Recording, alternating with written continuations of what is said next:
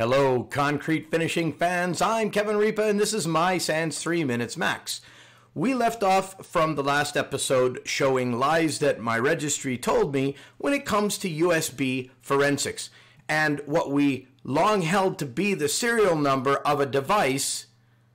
A unique serial number isn't really unique. Can we even believe it's a serial number? Hey, I was in that category. I thought that was a serial number. Why wouldn't I? That's what we've always been told. Well, I'm going to plug in this SanDisk USB stick. You might have just heard it load. Let's go over to the registry now. In our USBSTOR list, I'm going to look through here. I see SanDisk Ultra. That's what I just plugged in. Now, before I open that up, I'm going to go to PowerShell and I'm going to see if I can identify the serial number for this.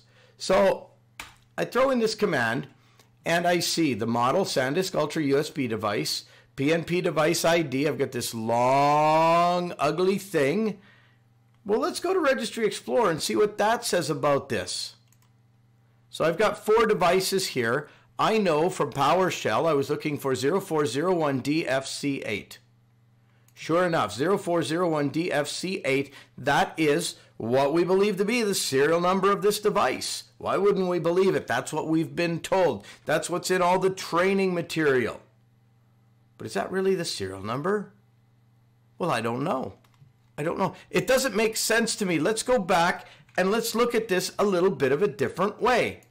So you saw that before uh, I invoked uh, PNP. So look at the command I, I did. GWMI, get WMI for Win32 disk drive, pipe it out to interface type USB. I only want to see USB devices I plugged in and select the object for model PNP device, but I'm going to add another line. I am going to say uh, serial number.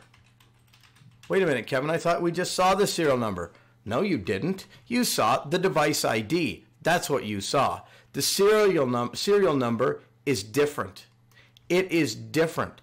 Now let's go back to Registry Explorer. So there was the serial number, but that's not what we saw. We saw this whole long thing. So, so Oh, wait a minute. I see what you're doing, Kevin. This serial number, look at that. That is, even though that serial number is shorter, that's actually the beginning of this whole ID thing. Yeah, but the registry was showing the long thing. That's what we're reporting as the serial number.